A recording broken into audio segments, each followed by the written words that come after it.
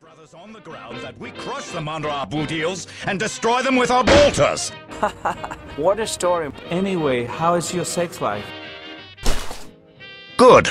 Look. Oh, pretty good. Yes. Things shall get loud now.